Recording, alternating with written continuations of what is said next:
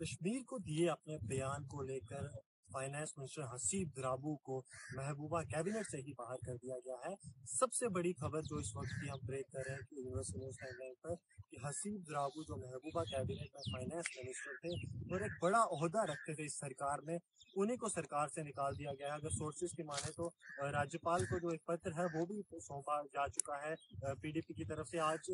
Secretariat میں P D P کے جو ایم ایل ایز ہیں ان کی ایک بیٹھک ہوئی ہے، جس کے بعد حسیب درابو جو کہ فائنانس منسٹر ہیں، ان کو کیبنٹ سے نکالنے کا ڈیسیجن لیا گیا ہے۔ ہماری سہیوگی جو news agency Kashmir News Bureau. اگر ان کی مانے جو سرتاج بدری نے کشمیر نیوز بیورو سے بات چیت کی ہے، اس میں انہوں نے بتایا کہ یہ ڈیسیجن جو ہے، یہ پارٹی ایم ایل ایز کی طرف سے لیا گیا ہے اور حسیب درابو جو ہے، ان کو محبوبہ کیبنٹ سے باہر نکالا جائے گا۔ تو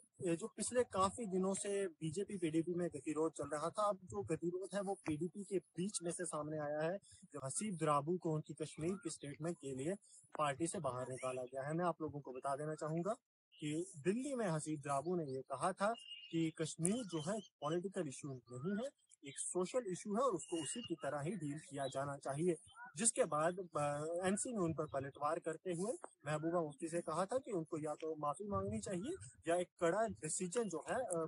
اگر بات کی جائے فائنانس منسٹر حسیب درابو کے اگینسٹ دینا چاہیے۔ اور وہی ہوا ہے ابھی، کیونکہ اگر جو خبریں ابھی تک آ رہی ہیں ہماری سہیوگی، جو نیوز ایجنسی ہے، کشمیر نیوز بیورو ان کی اگر خبروں کی مانے تو سرتاج مدنی جو کہ پی ڈی پی میں ایک اچھا قد رکھتے ہیں، انہوں نے یہ کنفرم کیا ہے کہ پی ڈی پی کے کے جو ایم ایل تھے، ان کی طرف سے یہ کیا گیا ہے کہ حسیب درابو جنہوں نے کہ کشمیر پہ ایک اسٹیٹمنٹ دیا تھا جو بعد میں کنٹروورشیل اسٹیٹمنٹ نکل کر آیا،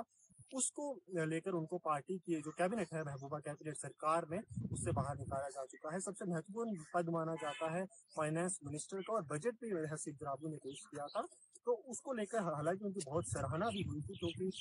کون رہے حسیب درابو ان کو پارٹی سے اب تک نکالا جا چکا ہے۔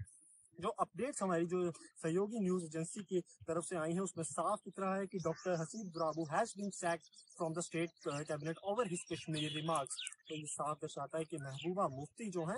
وہ ان سے ناخوش چل رہی تھی کیونکہ ایک یہ اسٹیٹمنٹ uh, ایک کیبنٹ منتری کی طرف سے آنا اور حسیب دراب جیسے کیبنٹ منسٹر سے آنا جو فائنینس کا بدبھار تو سنبھالتے ہی سنبھالتے ہیں۔ ساتھ میں جو پیپلز ڈیموکریٹک پارٹی کی ایک ریڑھ کی ہڈی مانے جاتے ہیں، ان کی طرف سے، کیونکہ اگر بات کی جائے اسٹیٹ کی ابھی تک، تو ایک طرف جہاں جہاں نوشہرہ اور آصفہ مرڈر کیس کو لے کر پی ڈی پی اور بی جے پی جو دونوں ہیں، ان میں آپس میں تکرار بنی ہوئی ہے اور راجیہ کے جو لوگ ہیں، وہ بھی دونوں پارٹیوں کے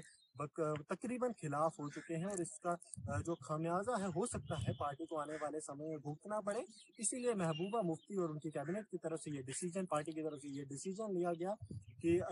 حسیب درابو فائنانس منسٹر کو ہی کیبنٹ سے ریموو کر دیا گیا۔ ابھی میرے پیچھے آپ نے ابھی کوشش کی تھی، میرے کیمرہ مین آپ کو دکھائیں گے۔ یہاں پر فاروق عبداللہ کا ایک فنکشن تھا جس پہ فاروق عبداللہ نے حالانکہ اس پر کوئی بھی کمنٹ لینے سے منع کر دیا۔ انہوں نے کہا کہ